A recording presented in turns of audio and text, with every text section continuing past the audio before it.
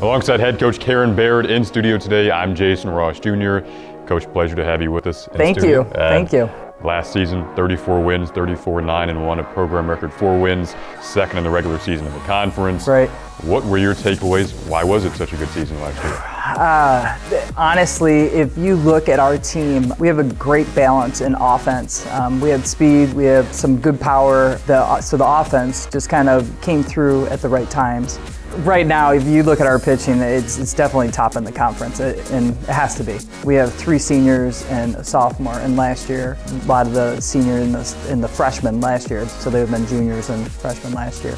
They did the majority of our pitching, and they just they they, they shut down teams, and when they needed to shut down teams, and. Uh, we had a lot of one-run games. Um, the year before we lost some of those. This year we won those games. And uh, last season just it was a tremendous run. Um, I think we went 17 and one to start out, and that in itself, I think, I think in a way it shocked our team. Like we were like, whoa, wow, and um, and then you know you get into WHACs and you just want to keep that going. But the WHAC conference so tough and competitive that we took some losses and, and then we just had to fight through some stuff and adversity. It was awesome. It was a great season. Kennedy, I'll start off by asking what you took away from your freshman year in terms of lessons from the upperclassmen and lessons from the season.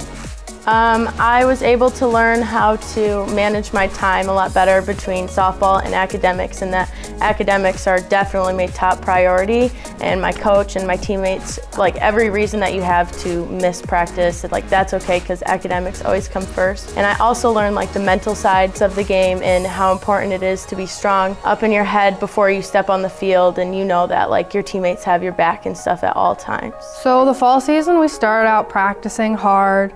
Uh, we practiced almost every day during the week in the fall. We had some games at SVSU, we played Kent State, Detroit Mercy, CMU. A lot of top D1 teams we played and we competed well with all of them and beat a fair number of them. I mean, we have a great team. I'm a senior and I'm gonna be sad to leave it all, but my focus is on this coming up season and winning nationals, getting there, seeing the full experience and going out this last year with a win with my girls.